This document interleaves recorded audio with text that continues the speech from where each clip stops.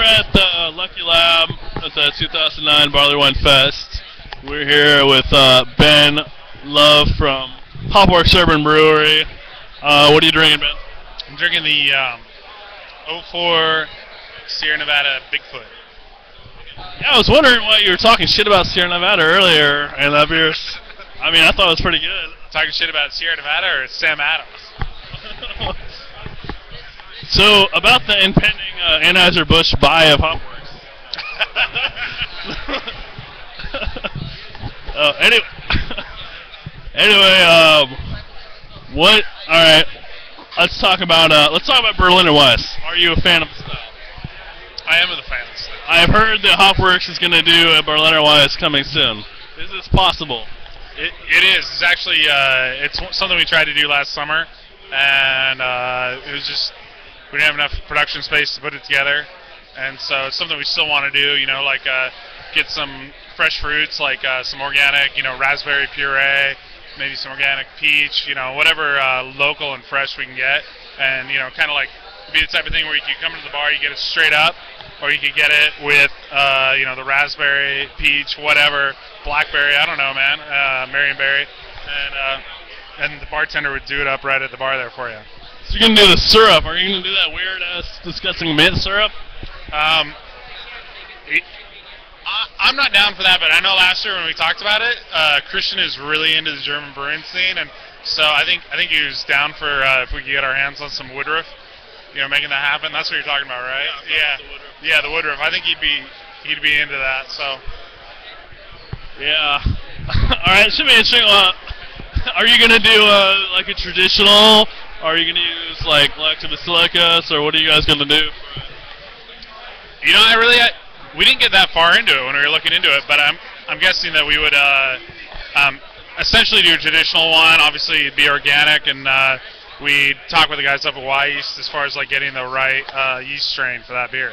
So, I mean, yeah, it would be lactobacillus. I know some people have done like a, a sour mash profile, which like accentuates the lactobacillus that's existing in the malt. Um, that's also another uh, potential way to do it, but I think we'd probably go the traditional route. So we got kind of a sour beer thing going on right now. But we're working on it. Okay. So, so tell me about your uh, Baltic Stout. That's good, Jamie Rodriguez about the Baltic Newbie Stout. Yeah. It's a new hybrid style. It's coming out. It's called Extra Baltic now. Sorry, in, in jokes. um, what else is coming up from Hopworks in the future? Um, next week we're going to be releasing our alt. So it's a it's a Sticke alt. So uh, secret alt, which is higher, a little bit higher gravity and more hops and uh, your typical alt, which is like 4.5% alcohol, and uh, so it's like uh, what it's like around six percent. And obviously we're using some American hops, uh, some Cascade, especially like Cascade, uh, Select, and then uh, some Rainier. So it's a nice hoppy beer. Uh, besides that, we got an Abbey that's going to be coming out. Um, which is kind of our entry for the Portland Cheers to Belgian beers. But then we also uh, took that beer and we put it, we racked it into a Zinfandel barrel and two uh, Cabernet barrels. And in the Zin barrel, it's got 60 pounds of local sour cherries. And in the two Cab barrels, uh, each one has a different strain of Brett. So we're hoping to have that done in time for uh, the Portland Cheers to Belgian beers. Wow, so you're gonna have a wild yeast beer for the Cheers to Belgian beers. It's crazy. What did what did what did Christian feel about that? Oh, he was down for that.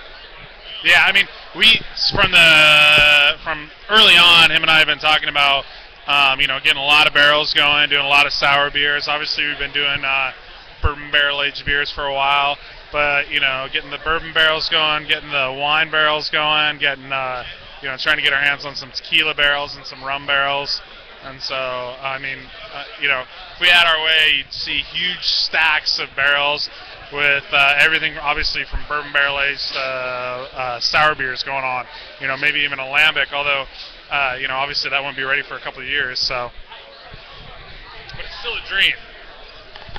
So that's a possibility that you might do like a traditional lambic, let it sit for a couple of years. Uh, but it's it's not uh, happening yet, or might happen, or what?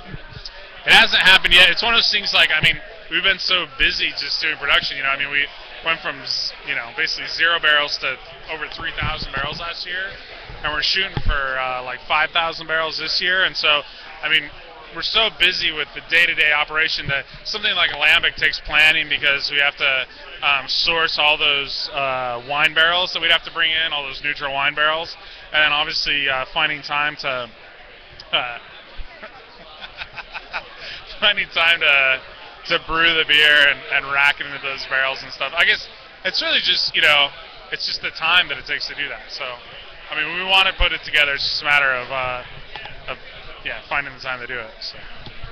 Probably the most, the biggest reason you don't see a lot of sour beer produced, uh, you know, in America is probably just the cost because the time that it takes to brew it and it takes up uh, fermenter space and aging space. Correct? Well, I mean, with like a lambic, then it doesn't take up fermenter space. I mean, you're gonna rack it right into the barrels. Yeah, but I mean, but you're right. Like, like it takes up space in your brewery. You know, you got to have room to store things like that. And also, people are um, a lot of brewers are worried about, uh, you know, the wild yeast, lactobacillus.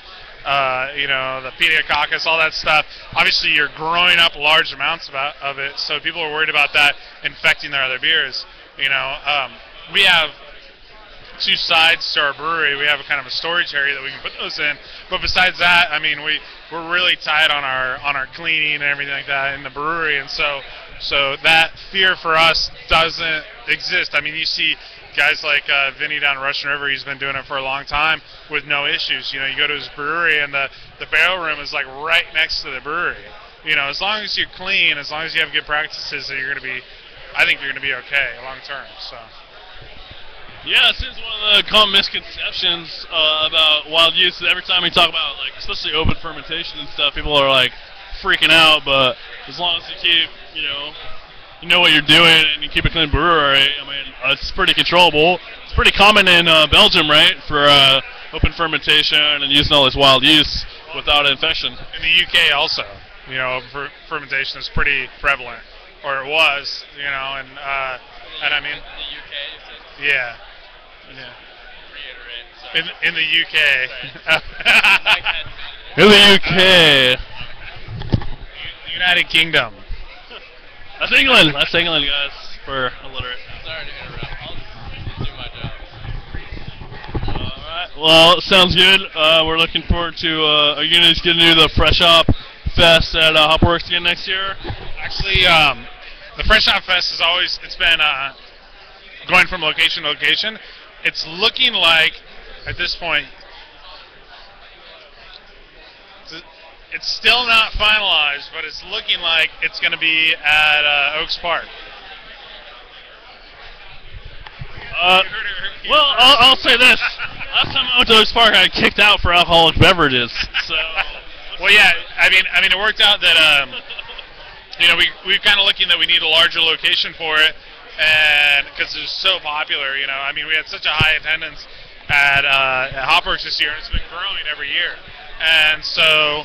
Um, Oaks Park, you know, we looked at it. You know, they got a large area. They have all their the security in place. You know, and it turned out that um, uh, Zenner's, you know, uh, sausages does an Oktoberfest. Um, basically the week before we were looking at doing our event. So we're still in negotiations for it, but um, but it would work out really well because they have plenty of parking there. You can bike down there, you know, via the uh, via the waterfront. You can take a bus down there. I mean, it's it's really a good scene, and um, and it turns out that it's pretty reasonably priced for for uh, for a beer festival venue, and it's large, and we can do our own food. I mean, it's one of those things like as we looked into it more and more, there's more and more pluses, and obviously that's a Oregon Brewers Guild event, so um, kind of need some final finalization from that, uh, which I'm on the board of the guild, um, but uh, but it's looking like that's where it's going to be next year, and I think it's going to be a really cool spot long term, you know. yeah, it sounds cool to have like a regular established spot. Yeah, exactly. As long as I, there's no kids like, oh, can, can you can you do uh, the rides with microbrews? So that is the key question. Can you get drunk and say, and get on some stuff. I'm sure you could you could drink beer and then and then go ride on the rides because the rides are going to be they're going to be in operation. What ride will you be on?